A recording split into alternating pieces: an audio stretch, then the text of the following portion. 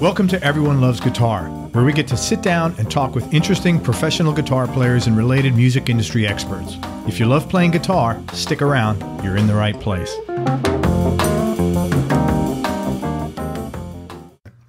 Hey, everybody, this is Craig Garber, and uh, I am honored and uh, feel very privileged today to have uh, guitar player Jerry McPherson as our guest. Um, a lot of you probably know who Jerry is. He's been a first call A list Nashville studio musician for over 25 years.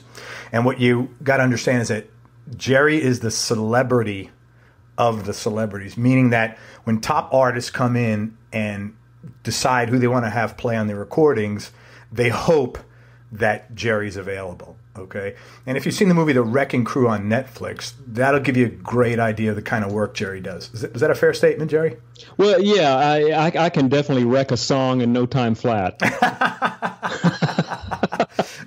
but um, um, he's here till Saturday, folks. Yes, uh, yes, try the veal. he's uh, he's definitely one of Nashville's modern day Wrecking Crew members. And, and let me just share some facts with you about Jerry.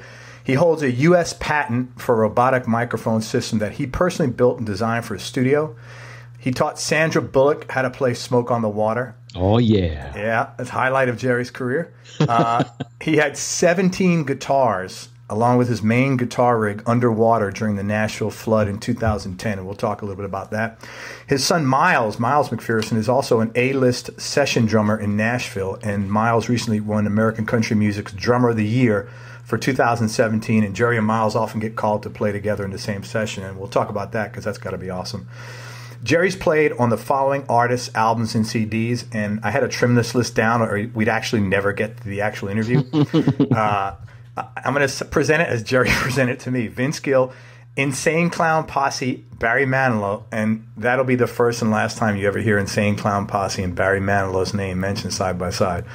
Uh, Miranda Lambert, Christina Aguilera, Faith Hill, Tim McGraw, Kelly Clarkson, Rascal Flatts, LeAnn Rimes, Burt Bacharach, Chris Martin of Coldplay, the late Chris Cornell of Soundgarden, Chris Isaak, Don Henley, Reba McEntire, Cheap Trick, Kellie Pickler, Glen Campbell, the great Glen Campbell, Michael McDonald, the Doobie Brothers, Lady Antebellum, Keith Urban, Dolly Parton, Kenny Rogers, Toby Keith, and literally hundreds of other artists. I've also been told by a number of different Nashville players, Jerry's one of, if not the nicest guy in Nashville. Oh, did they really say that? They did, honestly, man. And, and uh, Jerry thoroughly denies this, but we're going to put him to the test today and see for ourselves. Jerry, I really cannot thank you enough for your time, man. It's really a privilege here. So thanks. Uh, well, thank you. Thanks for having me. If I can add any insight or or what or, or keep somebody out of trouble or get them in the on their own road to success, I, I'm glad to help. Thank you so much. Before we get started, I just Burt Bacharach, man, that guy is a, a freaking songwriting legend, huh? Yeah. What What did you work with him? Well, I was working with. Uh, there's a producer here in town, Keith Thomas, mm-hmm. who's produced you know huge hits and. Uh, you know he's he's just an amazing uh, R&B producer, but he he does pop stuff and uh, he was working uh, with Burt to, for a song. It was for a movie. It was a Bette Midler, Danny DeVito movie, and uh, Burt and the director and the music editor, the three of those guys flew in, and we worked with them for the day and tracked the song that Burt had written, and uh, yeah, it, it, was it was pretty great. And uh, at at the end of the session, I asked Burt that at the end of the day because we worked all day together. At the end of the, at the end of the day, I said, "Hey, Burt, you know, I'm embarrassed, but." Come on, I, I got to get an autograph. And so Very he said, well, sure, sure, Jerry. So he held up a legal pad I held up a legal pad that I had some I had folded the paper over where he couldn't see the whole thing, and he signed it at the bottom. And I flipped it up, and I'd written, "I Jerry Mc, I Burt Bacharach hereby uh, reassign all my royalties to my McPherson." I still got it, and uh, and he and he read it and he said, uh, "I'll have my lawyers get in touch with you." Man, that guy's so royalties. Uh, I, I, can't imagine where, where I could get all of Burt Bacharach's royalties. Oh but. man, what did you uh, did you learn anything or take anything away from that from working with him? Um, well, it just it, you know, in Nashville, we, we have kind of a set way of doing things form wise, as the, you know, how the songs, the sections fit together and how they transition from one to another. And Burt just comes from a different school where there's kind of no rules. I mean, just because, yeah, time wise, we would normally have a chorus here doesn't mean we have to have a chorus here. You know, he's he just he just goes completely by gut instinct and feel. You know, he's a brilliant writer and really a sweet guy. Yeah, that, that that's um, yeah. He, I mean, I, how many hits has he? Re- I mean, I've known his name. I'm 53. I've known his name as long as I've been listening to music, which is yeah, probably yeah. 48 years. And he's still he's still writing. I still play on his stuff. Uh, they, you know, he he lives in Los Angeles and he sends his stuff to a, a young producer here in town, Brandon Hood, and Brandon will produce it and uh, we'll either go track it or he'll send me files and I'll overdub on it here at my studio and so yeah, so I, I still work on Burt's stuff. Is a lot of music done that way now? Uh, uh, quite a bit of it is, but for the stuff that really matters, most of the time you're sitting there with the producer and a lot of times with the artist too. Define really matters if you can. Well, you know, by the way, one phrase that I'm going to get really tired of saying, but I'm going to say it several times is back in the day. That's good, man. We're not that far apart age wise, so you can say that as much as you want with me, please. Well, back in the day, and when I mean, when I say that phrase, I mean back in the day when there were sales of albums, you know, mm-hmm. whether it's on vinyl, whether it's on CD, whether it's on cassette, where you when you bought something, you purchased 14 songs. You didn't stream one song and then go to the next artist. So back in the day when there was a budget and everything, you know, um, there were a lot more gatekeepers. Gatekeepers being people at the label that was like, is this person good enough to be on our label? Is this person good enough to produce it? Is this songwriter good enough to get their song on this record? Is this the right song? Is this, you know, there were gatekeepers on everything because there was a lot of money involved. Mm-hmm.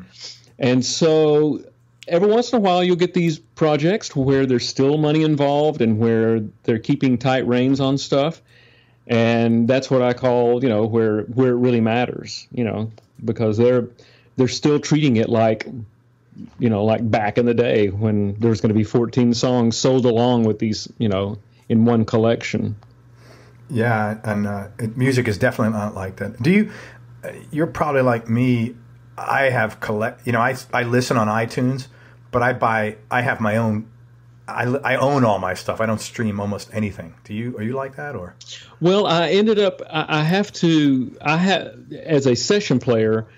I mean, what'll happen is that you'll get a producer or the artist or another player will reference some song, and you're supposed to be familiar with it, and that's virtually impossible to be in the heads of everyone that you ever come in contact and know all the music they've ever listened to, you know, right. and to know which song applies. So, uh, uh, my son turned me on to Spotify a while back, and that way I can type in when I'm on a studio. I can get on my phone, listen to the song, and uh, that they're referencing. And most of the time, I realize this song has nothing to do with what they're referencing, but now I know.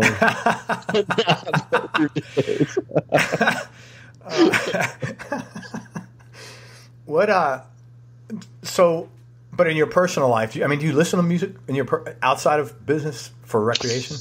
Yeah, it depends on if I'm if I if I'm in a particularly busy period uh, of work where you know you're working from you know basically 10 a.m. till late at night. Uh, I, I, typically won't listen to music at that point. You know, I'll listen to talk radio um, just just anything to kind of clear my head and to get my head off of music because I'll lay in bed and I won't be able to get some of these songs and some of the things and some of the things I played, some of the things I wish I had played. I can't get them out of my my brain. So I have to kind of purge sometimes with just some talk radio. But then there's other times where, you know, where I'm kind of in the retooling you know, it may be a day of where I, I, am not having to be in the studio, and I'll listen to music, and I'll just I'll just get on and start trying to find stuff. You know. Mm. Um, what are you working on now that's got you most excited? Man, it changes so much from from day to day.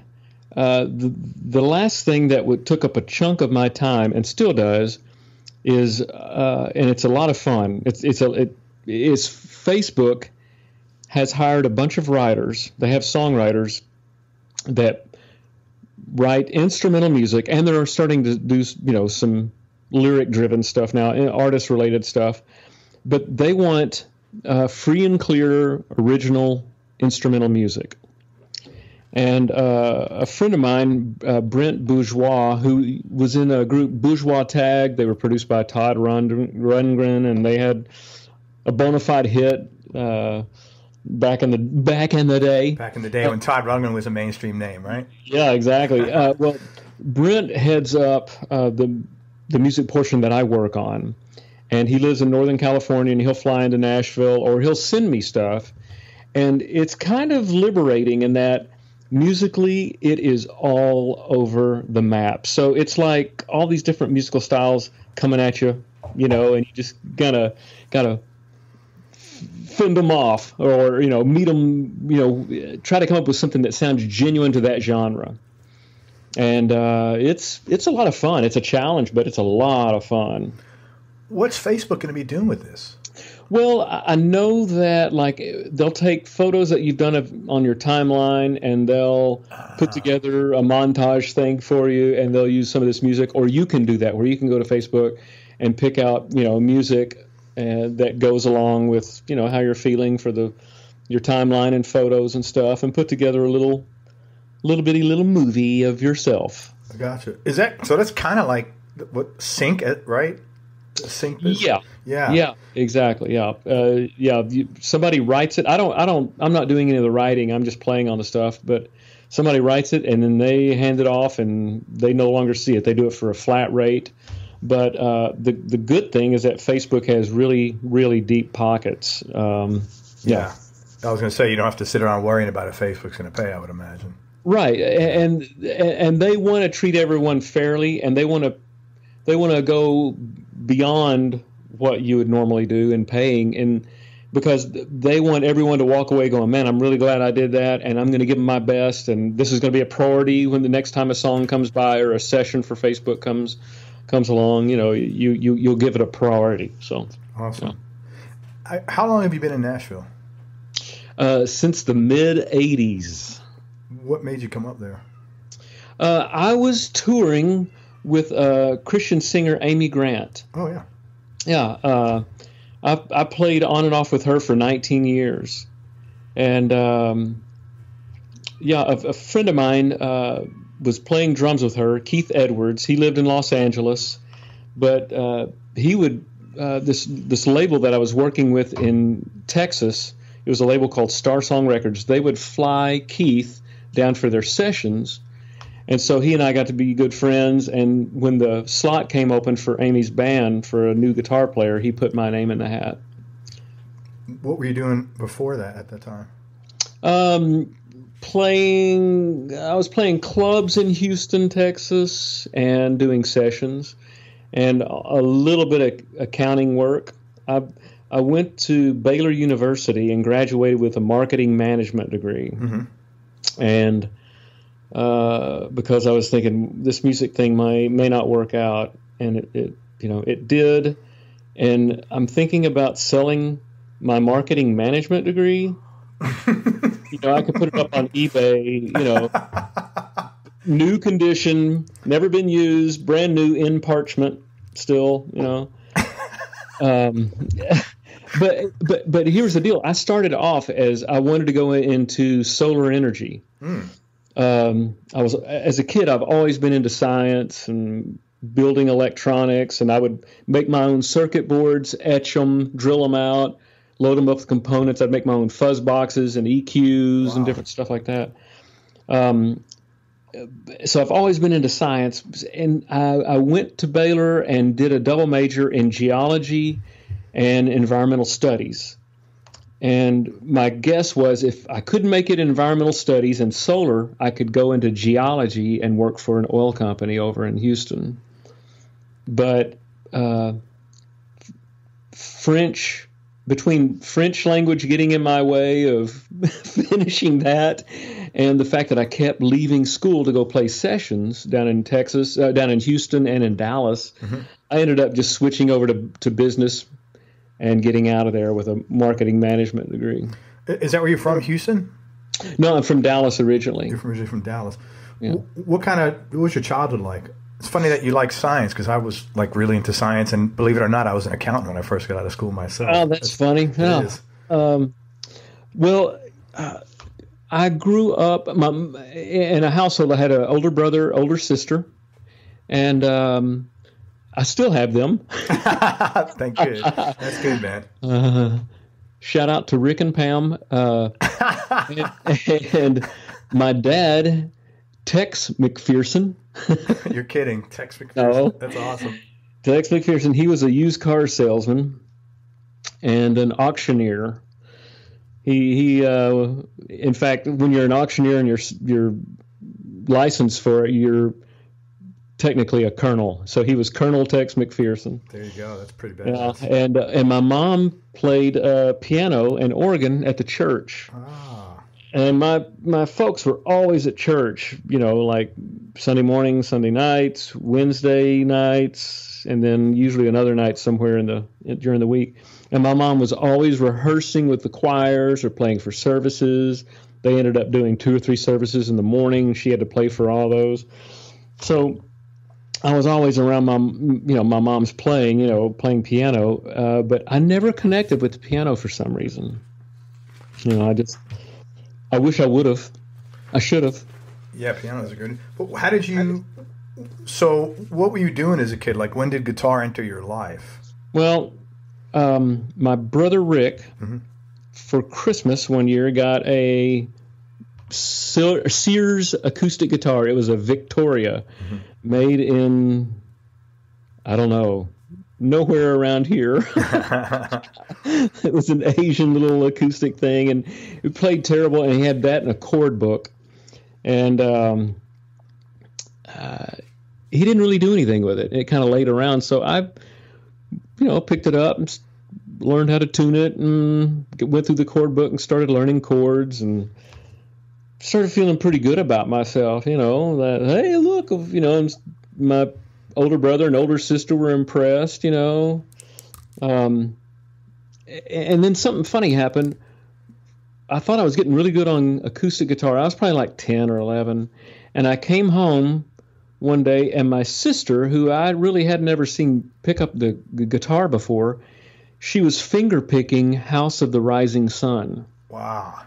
Now, I was strumming at that point. I wasn't up to finger picking and it it really kind of made me mad. well, no, I could see that. Yeah, yeah.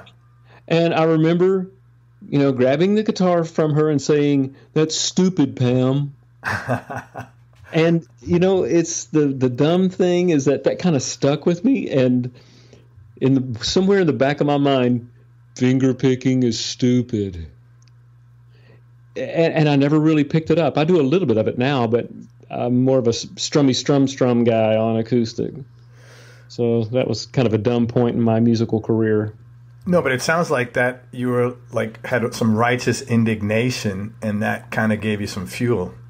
Well, yeah, and you know, as a young kid, you're wanting to rock, and yeah. finger picking does not rock.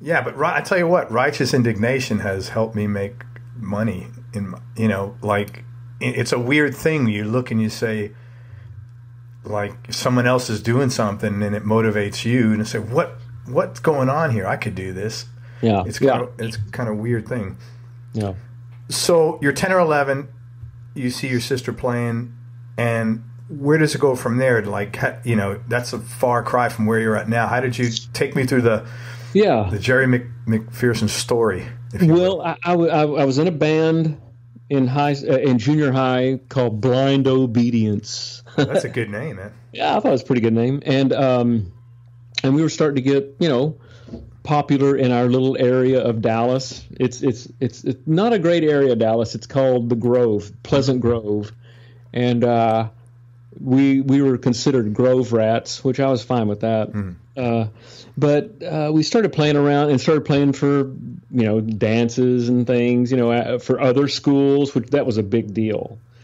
when you started getting paid to play for other schools' dances. You know, after after game dances and stuff. Yeah.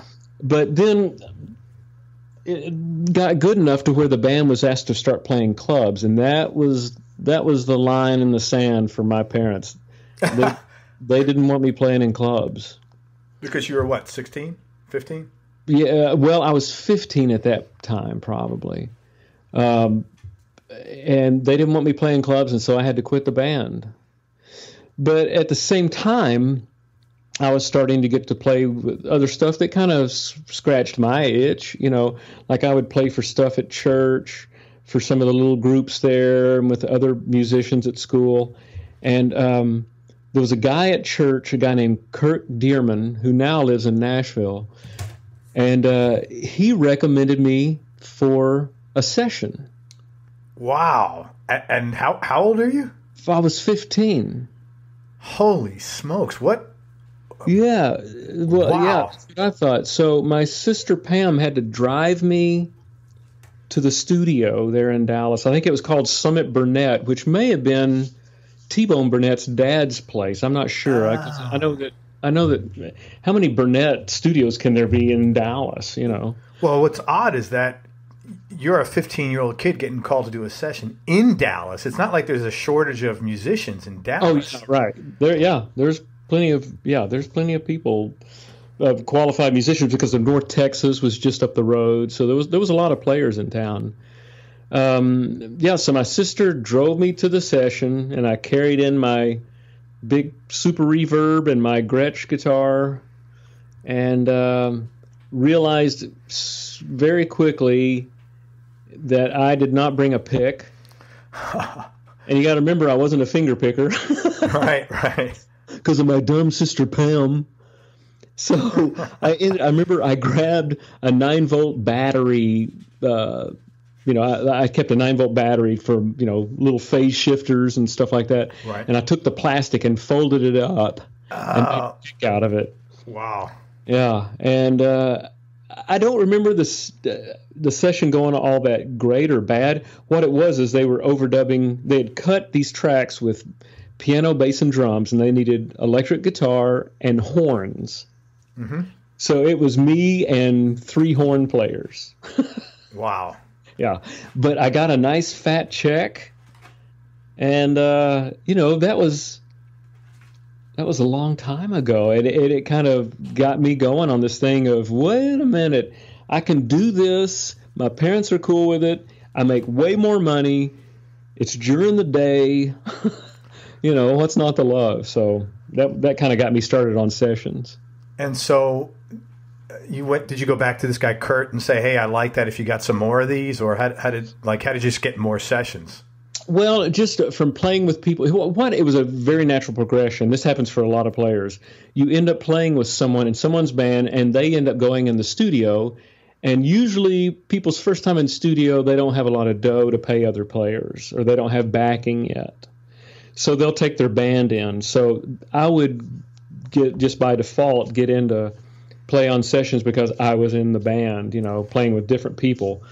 And, I, you know, I was lucky enough, or I don't know if I was smart enough, I'll say lucky, to be with, you know, some good singers where they would end up recording, you know, and I would end up going into the studio with them. So this is this was all very organic, very serendipitous. Very, yeah. There was there was no there was no social media harmed in the making of this. no there. advertising. There was no there was no uh, business plan. Hmm. There was no anything plan. You know, oddly enough, I've I've run my own business for 18 years, and I worked from in another business before that. But um, over my career, the the people that have done the best are the people that the universe has just supported naturally what they're doing and, and it hasn't been you know they had to squeeze blood out of a stone right you know not, not to say everybody doesn't have bad times i think that's unrealistic you're working for yourself you're going to have good times and bad times but um, the progression tends to be when it's organic. It's everything sort of falls into place. Yeah, and it's that whole thing of preparation meeting timing. You know, yes. when you sit in your room and all you do is play. When you sit in your room and you tell yourself you suck, and you'll so you'll try harder. And I that, that's that's one of the interesting things about musicianship is that you'll I would see another guitar player and see him playing a lick or whatever and I go I suck. I can't do that. But conversely he would see something I was doing and he would go I suck. I can't do that. You know so you can you can get this in your head that you need to try harder you know or you can build something up in your head like in Los Angeles the musicianship out there is monstrous. And so you'll end up, you know, striving for more than you would have had you had a real outlook on what the musicianship was like in Los Angeles. Good example. Uh, when I was a kid, a guy came to our church. His name was Paul Anderson. And at some point in his career, he was known as the strongest man on earth. Yeah, I remember that guy. All right, great gag. You know, to be the strongest man on earth, that's a good gag. Yes, I know that guy. yeah. Him. So he came to our church and he got into wanting to lift weights, but he lived out in the middle of the country. I mean, lived on a farm. And they couldn't afford, you know, gear or anything, you know, the workout stuff. So he started making his own weights. And he would take a bucket and pour concrete in it and set a pole in it and let that harden and then flip it over and put it in another bucket and pour in concrete. And he made his own, you know, workout gear. Mm-hmm. And he said he went to his first competition and uh, walked up to what the guys were lifting, and he went, "Oh, this isn't as heavy as the stuff back home." Hmm. And sometimes when you build up giants in your head, you'll end up working out harder. You know? Yeah. Does yeah. that make sense? Yeah. If if, yeah. if you want to be better, you got to. There's only one way to do it you know, and it's work, and and and you got to put pressure on yourself, and you got to push yourself. I, I agree hundred percent. Yeah. You know? So I always I always thought that I sucked. I still think you know I'll leave a session and go so and so could have played this better or faster, better, faster, stronger. You know, uh, so you're I'm you know you're you're always striving to do better. Well, right. Well, that was going to be my next question. Is I bet you don't feel much different, even though you recognize your playing is of a certain quality, but you I think you're you're either the kind of person that's always looking to do better and improve, and um, or not. Well, and here's the problem with guitar and music, and it's this way with a lot of things. You know those Russian dolls? Yeah. Where you lift the lid off, and it's like, oh, there's there's another doll in here, and you pull that out, and you lift that off, and oh, there's a there's another doll in here, and you lift that off or, or like a rose where you keep pulling back the pedals. You're like, hey, oh, here's what. That's the way it is with guitar. Hmm. There's so much to learn. It's it's unbelievable. It never stops. Yeah, I, I have this expression, and I got it from, for better or worse, watching uh, my father, who is not a very, who's a very unintelligent guy, and he always thought he was a genius. And I, when I finally got out in the world, I realized that you know, smart people realize how little they know. You know, it's the guys that aren't really that smart that think they know everything. Yeah, you yeah. Know? So if you're smart, you realize, man, there's a lot to know out there. I better, you know, I, school school's never out for the pro kind of thing. Yeah, and, and that's the guy you want. You want to hire somebody that lays awake at night worrying about their tone, about their pocket, the way it fits with the groove of the, you know, with everybody else that's playing, and with the parts, uh, just everything. You you you want to hire that guy. You know, you want to catch him on a night where he got some sleep, but you want to hire that guy he's awake at night worrying about that stuff. Yeah, that diligence and conscientiousness. That's the, absolutely. So let me ask this. I know you're a super humble guy, and so this is like maybe a difficult question, but what are some of the reasons why you think you've been called upon so consistently and for so long beyond your ability to play guitar. I mean, there's loads of good players in Nashville, and you obviously and there's no doubt you've earned your position technically where you are. But n- not all of them are getting called all the time. I mean, you're you're in the studio all the time. Yeah, yeah, yeah.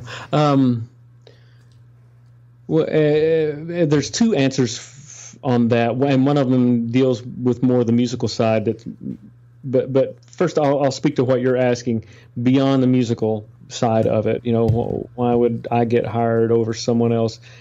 And one thing I've realized is that there is a between players here in town. If I, I don't know how many guitar players are actively doing sessions at you know just about really every day, but you know there's a few, and it's a thin line a lot of times between why one guy gets called over than the other guy. Hmm.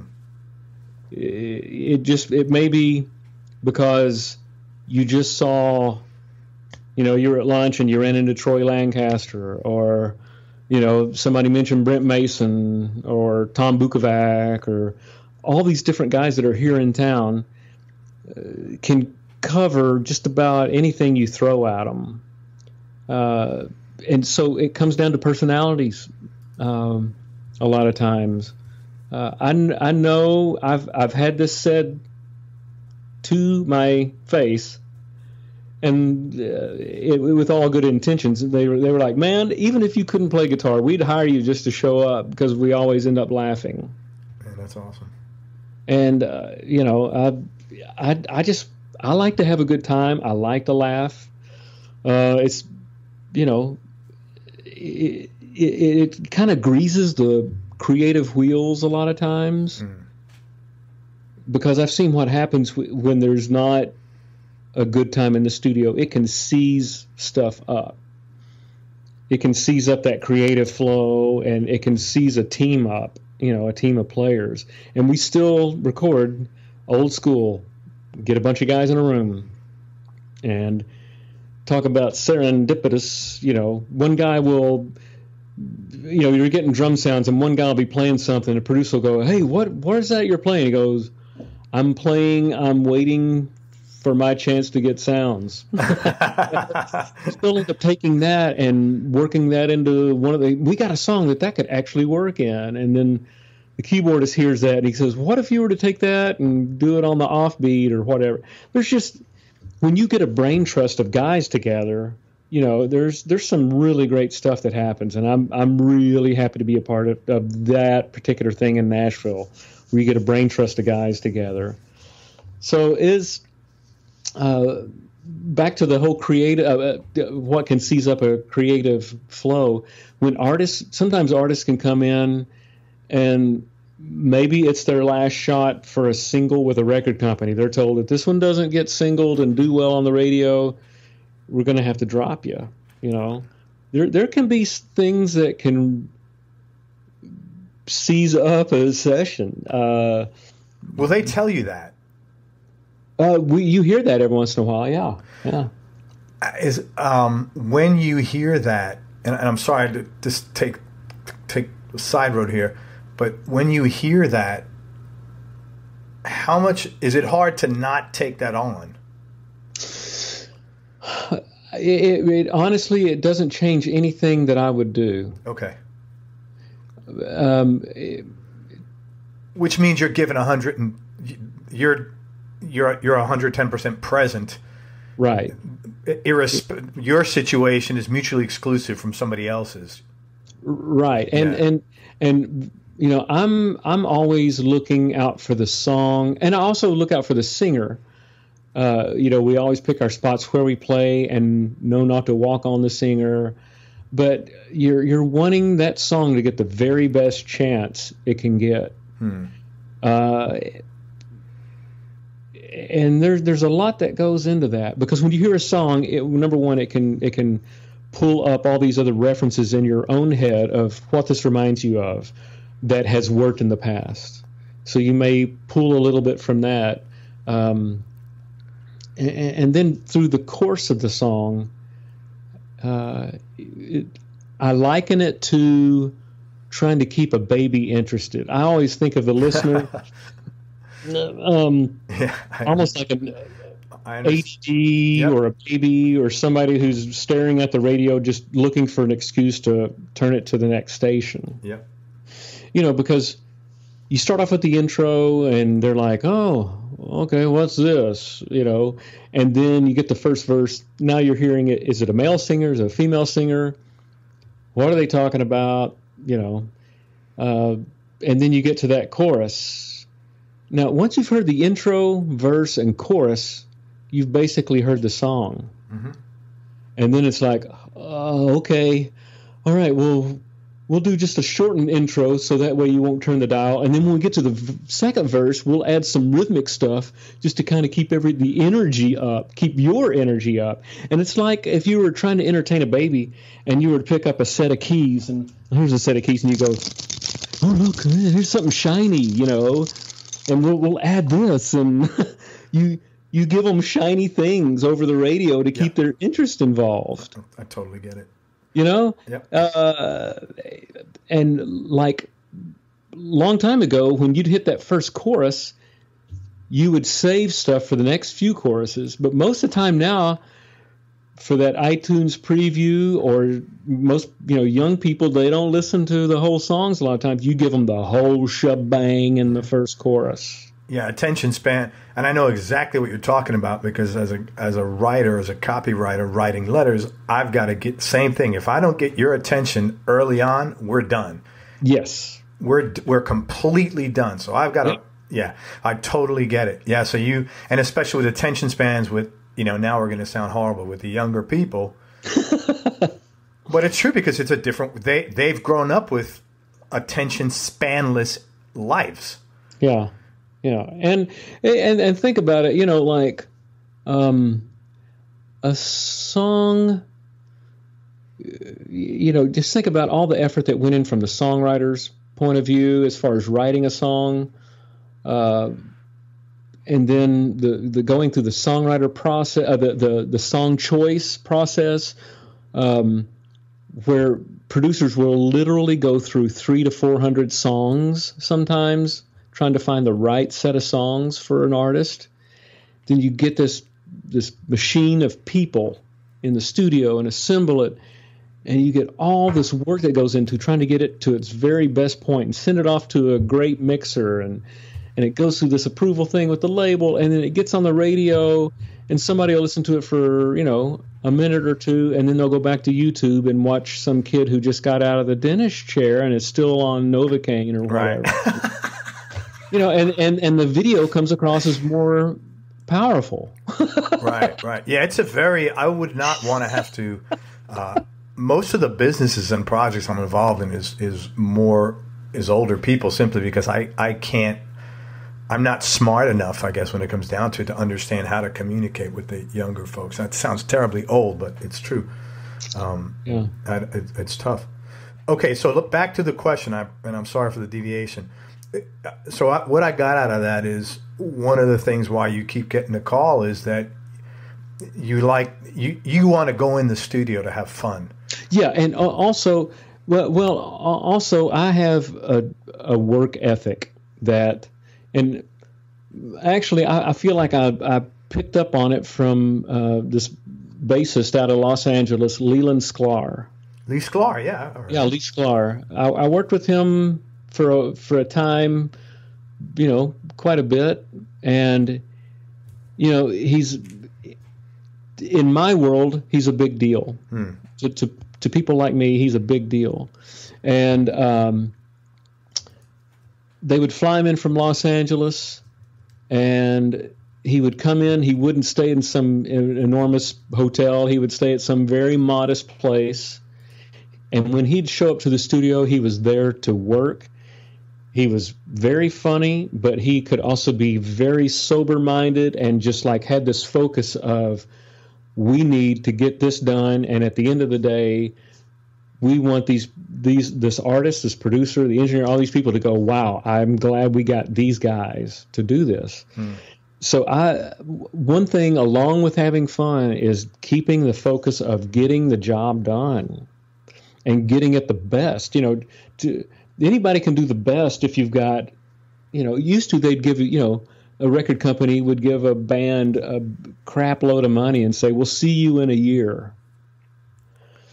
You know, and you can if you have a year to work on something and a big budget, you're going to be able to come up with some goods. Sure.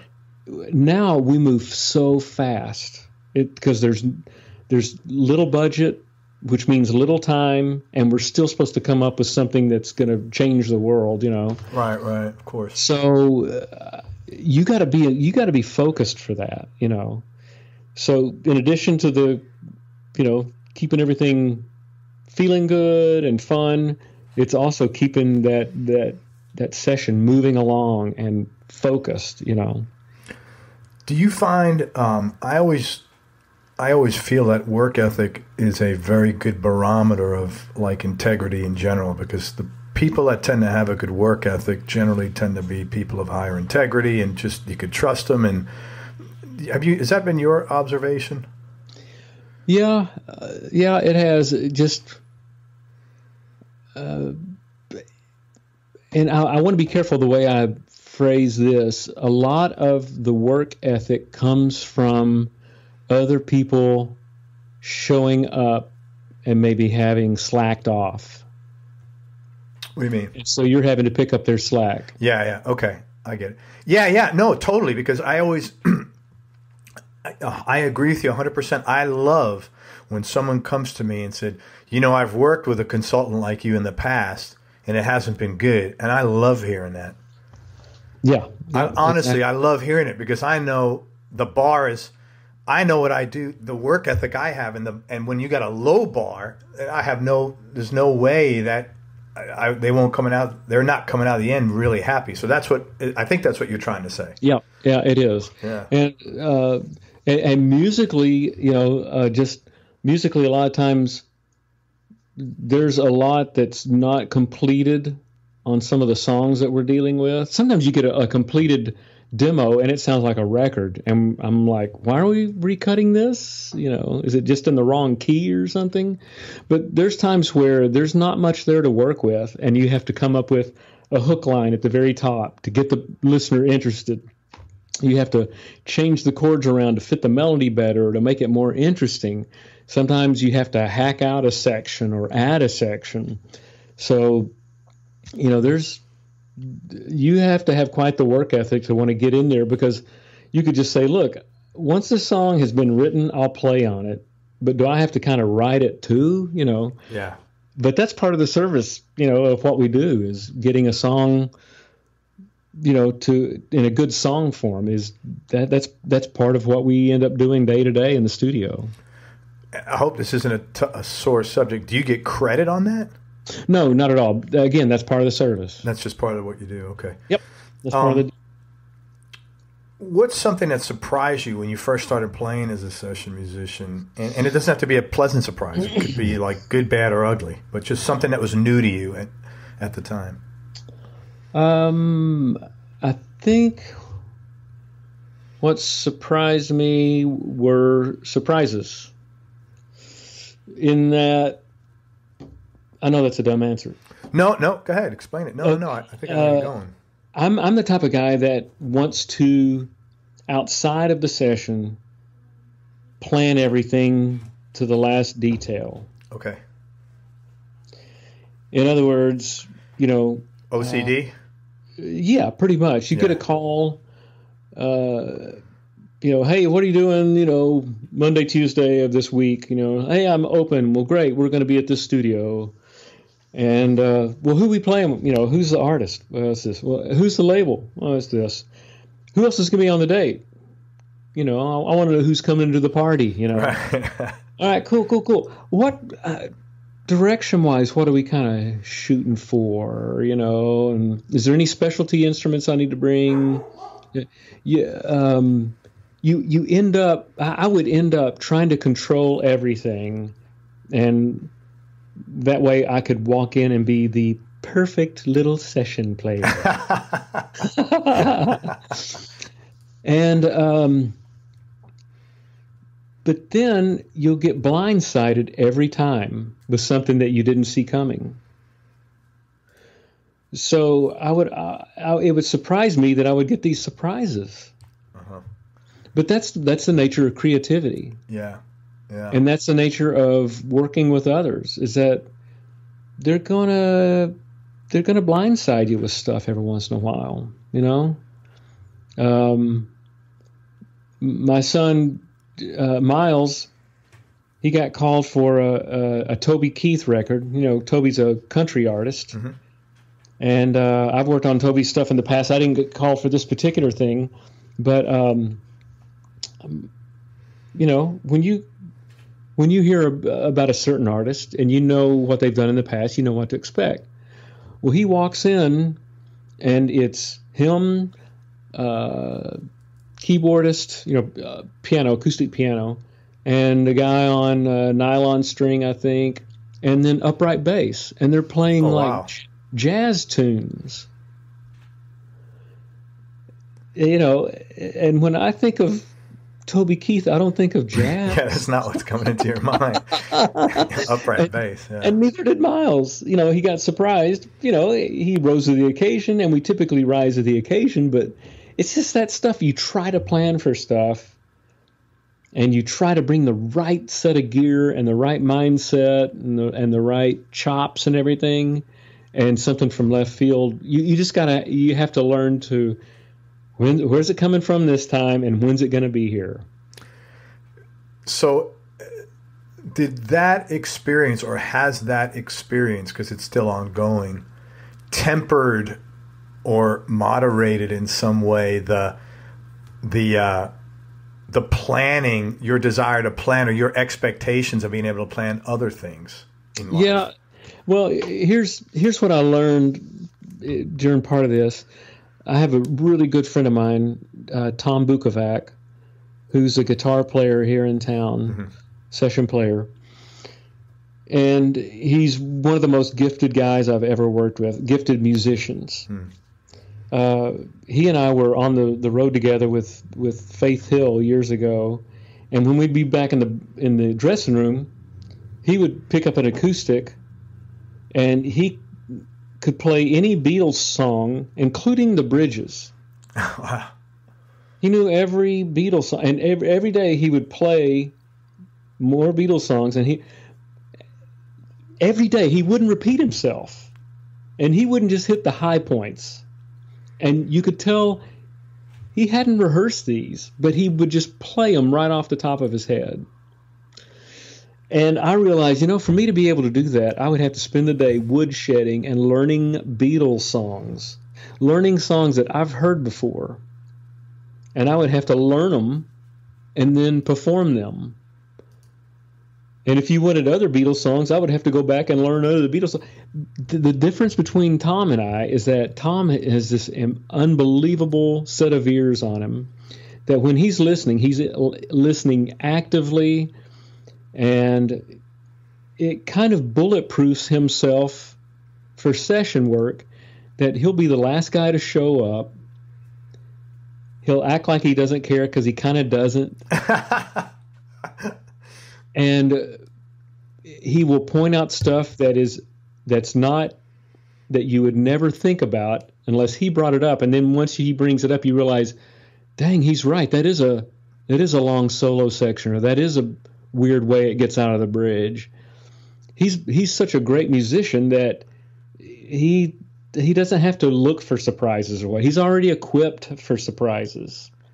And so w- what I've been trying to do is as a musician is to actively listen more to music and hear where the changes are going.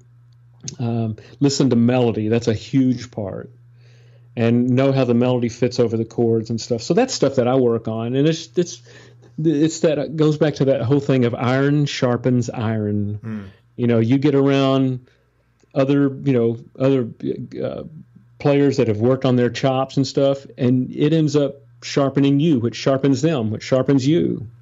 Yeah, yeah. No, it's yeah. yeah you always get you always was it like a rise? What's the expression? A rising tide lifts all boats or something like that. Yeah. Yeah. yeah. I'm a firm believer in that. You want to be better, hang around with better quality people in whatever you're looking to. Yeah, I agree with you. Yeah, so that's that's one of the things as far as that uh, you know surprises as being a session player is that there's going to be surprises. You can plan all you want. You know, uh, I remember as a young guy, I would ask for the demo ahead of time. You, we don't do that at you don't do that now.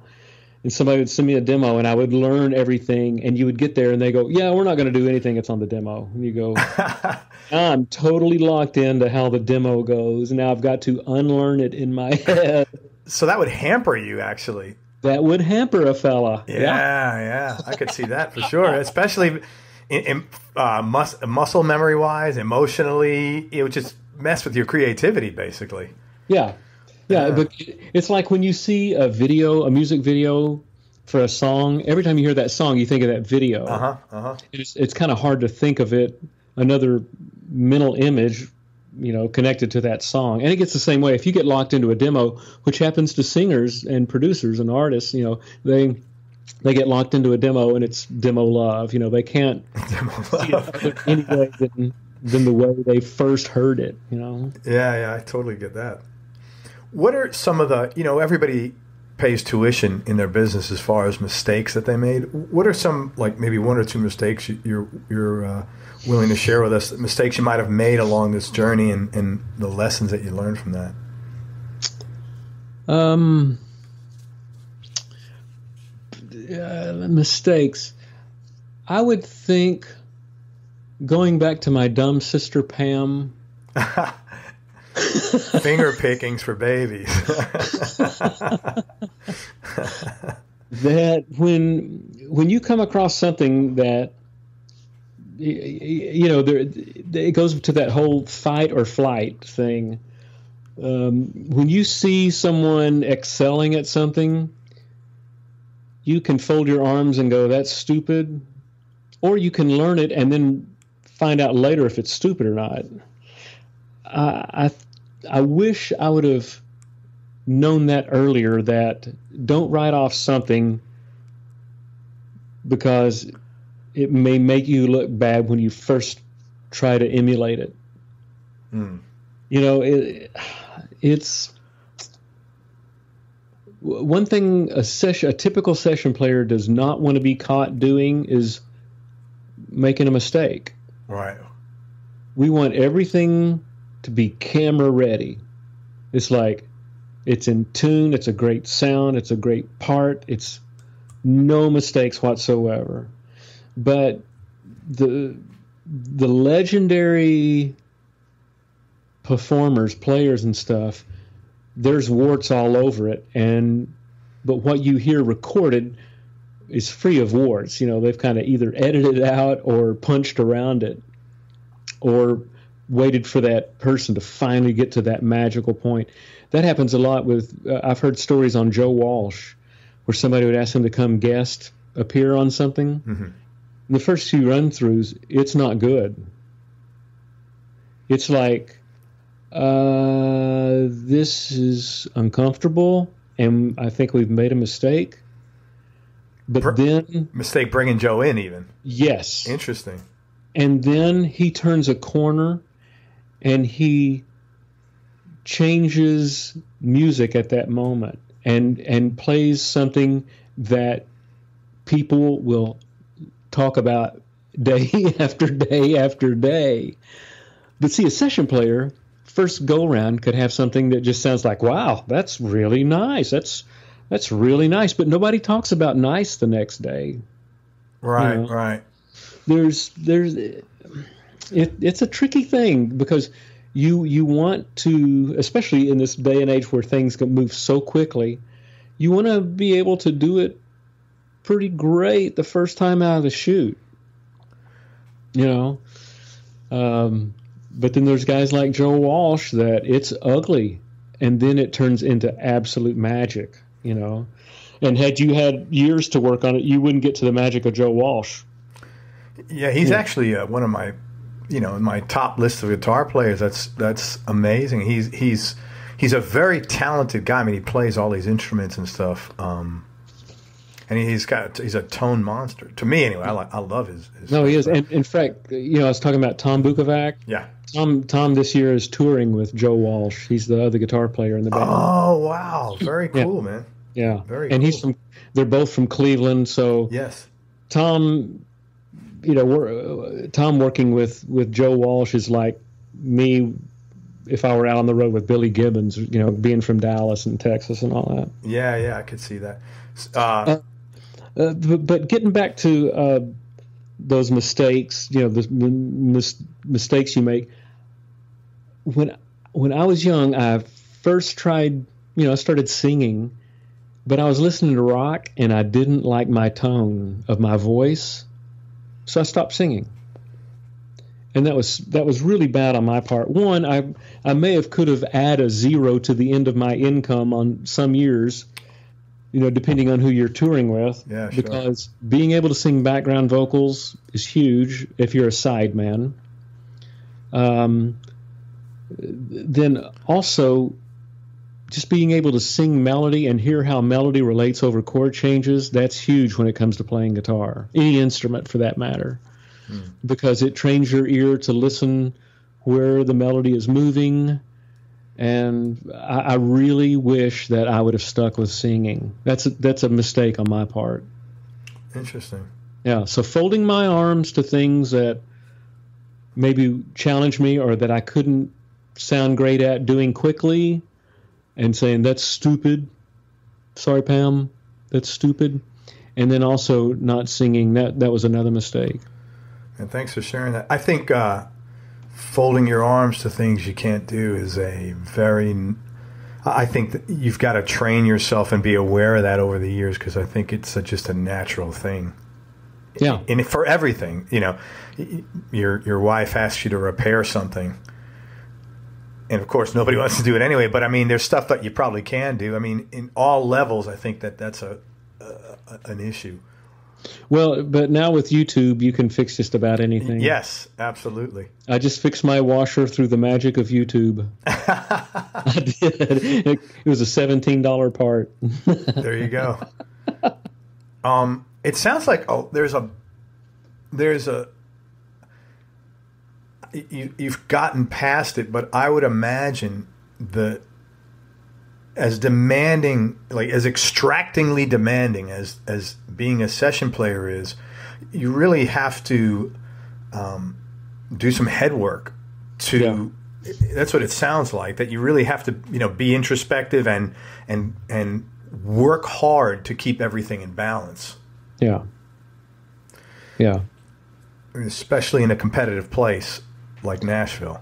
Yeah, it's and balance that's that's a lifelong uh, goal is to find the right balance between career and family and and and even balance within each of those things yeah, yeah. balance within your career as far as what you're putting your time and attention on you know when i'm as a guitar player you know i'm um, uh, you know i'm always wanting to work on stuff but a lot of what I learned on guitar was uh, saying yes to tours where you had to learn 20 to 30 songs of somebody else's parts that you didn't play.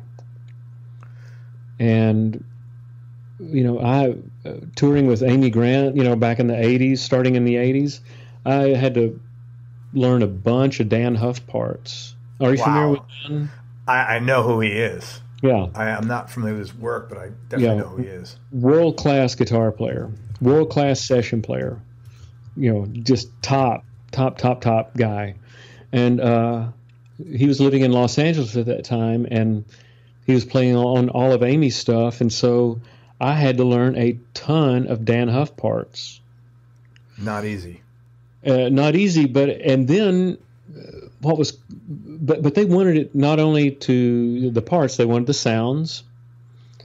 And so, you know, I, I ended up talking to him. I ended up staying at his house for a few days once when he was in Los Angeles and going around to some of his sessions with him. But uh, you learn those parts, you learn those sounds, and then you play them hundreds of times. And they get ingrained in you. And so, because of that, that was homework, you know. Hmm.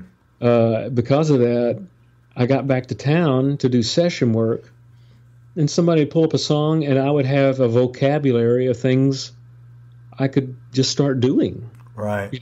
For a, for a particular song, you know, I could do this or I could do this. here's another approach to this song. I could do this, and that's the thing is that in session work they want you to start moving, and then they'll tell you whether or not you're going in the right direction.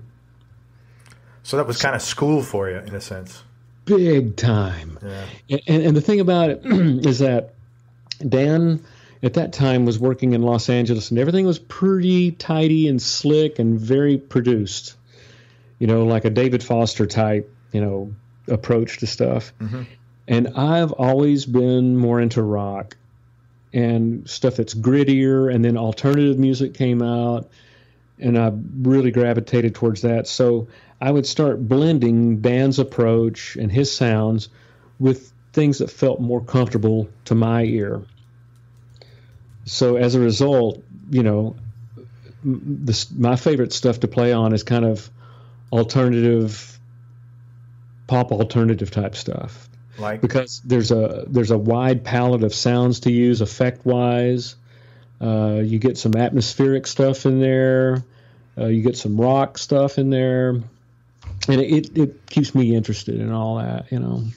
So learning learning band stuff was a huge thing for me. was that like it, it sounds like it was actually career part of your success in your career. Oh, big time, big time, because I was getting paid playing playing those parts live, and then taking the influence of those parts, I was able to quickly in the studio come up with a sound, come up with a part. You know, is that too slick? I can, you know, oh, does it need to be slicker? You know, I, I had a, a good vocabulary, you know, for for session work. The flip side of the question of the mistakes that you've made, and again, thanks very much for being so candid on that. Um, what is it, one or two things you did which at the time was out of your comfort zone, but turned out in hindsight 2020 to be real big breakthroughs? This thing going on tour and learning that stuff for Dann Huff's probably one of them, I'd say. That, that's that would yeah, I would have to point to that being the biggest thing as far as the comfort level of going in front of you know when I started with Amy, we were playing big crowds, you know. How big? Um, well, I mean, she was she had just opened up into the pop world, so like you know we were playing the Grammys, we played you know the Grammys, we played the Tonight Show, Jay Leno, Mm. and all these TV shows and award shows and stuff. It was it was pretty crazy, and you know, eight thousand seat to fourteen thousand seat arenas and It's pretty. and then some festivals where it'd be tens of thousands of people. But um, yeah, it, that was kind of out of my comfort zone. But once you got the parts under your hands and you felt good about the the sounds and everything that you had, and it was an amazing crew, amazing band. Amy's an amazing person. You you know everybody went out there pretty confident. Um, someone starting out, they want to be a session musician. What kind of advice would you give them as far as what to do and, and what not to do? Well, you know, like just about anything, the hard part is is working on the right stuff. Um, the w- one thing that I didn't realize is that where I was hearing the click and where it was the beat actually was were two different places. Hmm. So when I first started doing session work, I was rushing, and that's a typical thing to do for a young player. And uh, a a keyboardist out of Oklahoma, I was doing a session with this guy. His name is Harlan Rogers, Mhm. and groove monster. Laid, he has a deep pocket. Um, but he he kind of explained it to me and just basically opened up my eyes. I wasn't able to do it, but I finally heard what he was talking about. And this is before Pro Tools, where you could see that, see, dude, you're ahead of the grid.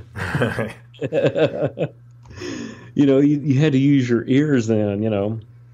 Um, so f- for young players, if they were to realize where they're laying it in with the drums, uh, that's a huge thing. Um, also there's such a God, there's such a push for learning things on the guitar that you'll never use on a session, like shredding. yeah, I laugh because it's it's. Uh, and you and I kind of talked about this a little before. It's to me, it's saying, it's using a lot of energy and notes to not say very much. Yeah, and it actually doesn't get the effect that you're hoping for. Mm. And that's why you don't get asked to shred on sessions typically. yeah, yeah. I mean, I've ne- you know, it's almost like you shouldn't walk in a guitar store unless you can shred, but that's about the only, you know, the function of shredding is to impress other guitarists. it's not really a function of music. No. And we all end up with a with a with a little uh, what is it when you have use a bow and arrow? You have a quiver yeah, of bow, you know, quiver of, of arrows. Yeah. yeah, a quiver of arrows. We all end up with these little arrows of licks and things that sound good when there's no music going on. yeah. And they'll never see the light of day on a record. But it's stuff that we use to warm up with and that can sound impressive, but it doesn't fit in any song. Yeah, no one's ever asked you to shred in the studio, right? Yeah. So, I mean, rarely, so, you know, they'll say, hey, man, go crazy, you know. But that doesn't necessarily mean shredding either. Yeah. But, but, you know, just having that, just getting that fundamental in the pocket with a great tone that's appropriate for the song. Uh, and that's such a subjective thing. We could do hours on that. Um, but with and with parts that fit with the other players and with what's happening with the lead singer. And one thing I've learned in Nashville, musicians have huge freaking ears, huge ears. I learned so much from doing sessions here in town because, you know, somebody will notice what the where the singer is singing a particular note against a certain chord, uh, or you'll see a, a steel guitarist marking his chart up where the holes are, where the singer isn't singing. Um, and he knows that he, he needs to stay out of the way. And oh, look, there's a spot right there I can fill. Hmm. You know, and there's kind of rules, old school rules that really don't apply anymore. But when I first started playing on country stuff, um, you know, the the piano would take the second verse fills. Say that again. The piano would take the second verse fills. Yeah. Instead so of, instead of the guitar. Around, it, it, was yeah. When the second verse comes around, it's time for the acoustic grand to play fills and stuff. okay. So it was just a way of arranging stuff out because you know music started out off being arranged, and you look at our time, our union time cards here. They there's still a a space for arranger to sign his name. No one ever signs it because there's no arrangers. Mm. We all self-produce and self-arrange. You know, uh, all the you know, well, I, I don't know if I could say all the Motown stuff, but a lot of the Motown stuff was written out. You know, interesting. Some of those great parts that you hear and you go, man, what great musicianship. A lot of that stuff was written out. You know, even for guitar. Well, yeah, and you know, like especially like uh, when I think of like uh, bass parts, hmm. like uh, like a James Jamerson kind of thing yeah, like Jackson Five, I Want You Back. All right. Boom.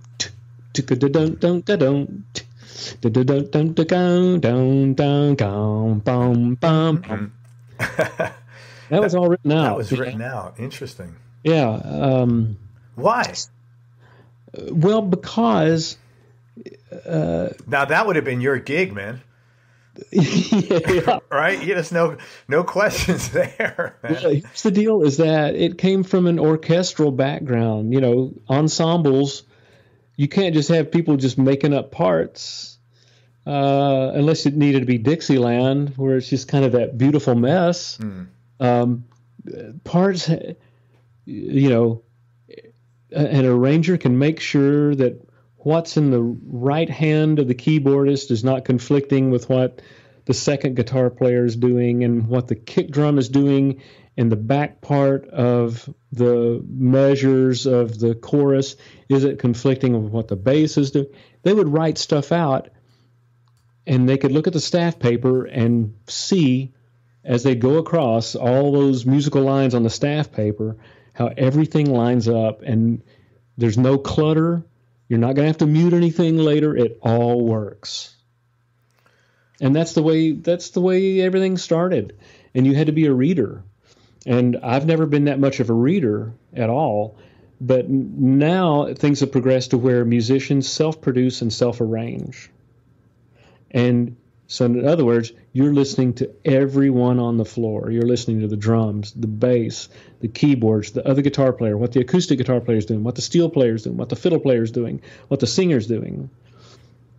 And there's a lot to take in. Oh, yeah, massive. Yeah. And to do it quick, there's there's a lot going on. Hey there, this is Craig Garber. Thanks so much for listening to part one of my interview with Jerry McPherson.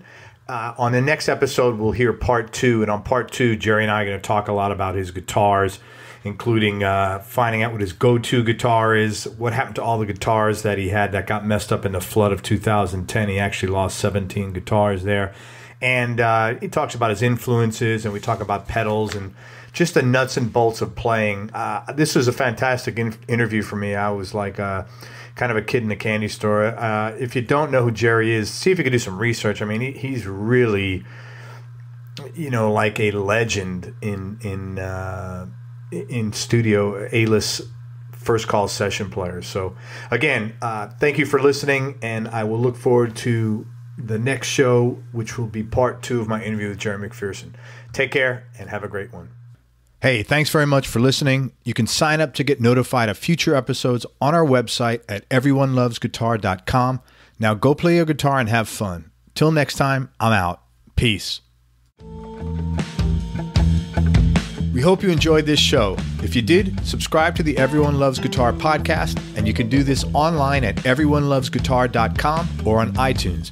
And if you like the show, please leave us a five star positive review. The more five star reviews we get, the higher our show ranks, and higher rankings mean we get to continue speaking with cool, interesting guests on our show. We'll see you on the next episode, and until then, keep playing your guitar and have fun making music.